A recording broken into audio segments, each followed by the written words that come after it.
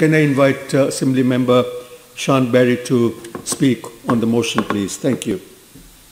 Thank you very much, Chair. Uh, the Green Group supports this motion and the changes made by Labour under the influence of the Conservatives, though I wonder why we can't reach consensus even on this today. We are concerned with this motion about basic human rights, both the incredibly disturbing and shocking persecution of the Uyghur Muslims and the increasing oppression of civil liberties and democratic rights by the Chinese government on its own people in mainland China and the people of Hong Kong. And here at home, the increasing racism and xenophobic attacks on people of Chinese and Asian descent. All of this merits a strong statement from the Assembly and requests for action. I want to note two things in my remarks. One is the call from the UN Secretary General in May for countries to act now to strengthen the immunity of our societies against the virus of hate in the wake of what he called a tsunami of hate and xenophobia, scapegoating and scaremongering.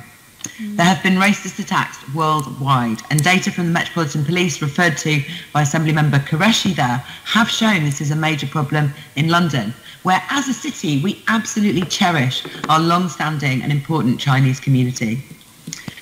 I also want to point to the letter published today by the All-Party Parliamentary Group on Hong Kong, including Green peer Natalie Bennett, which highlights the increasingly violent actions of the Hong Kong police against protesters, in particular a brutal attack on a 12-year-old girl. The Green Group is supporting this motion from the two proposed today on similar topics because we particularly welcome that the proposers here have taken up the idea of looking at our city twinning arrangements and widened it not therefore to look at Beijing and Shanghai alone, but also arrangements with other countries where there are concerns about human rights abuses.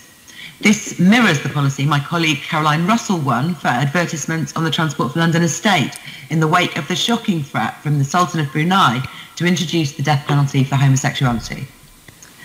Human rights are important, and we can see too many of these principles treated with outright disrespect across the world today, both by racist and prejudiced individuals and by increasingly authoritarian governments. We should all take this stand for human rights today and vote for this motion. Thank you. Uh